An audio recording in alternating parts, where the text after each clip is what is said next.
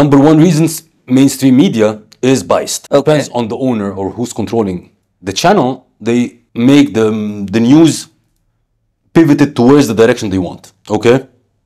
You watch the news in the US, it's pro US. You watch the news in the Middle East, it's pro Middle East. You want to watch the news of uh, Africa, Yeah. it's pro Africa. So it's biased. This is number one.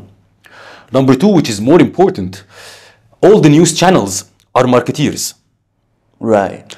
What I mean by marketeers, I know how to grab your attention. If I grab your attention, I can do anything with you. Am I correct? Correct. And attention is the most expensive currency we have now. Right. So the news channels, the big news channels, they're marketeers. In order to grab your attention, the easiest way to grab your attention is to put fear in you.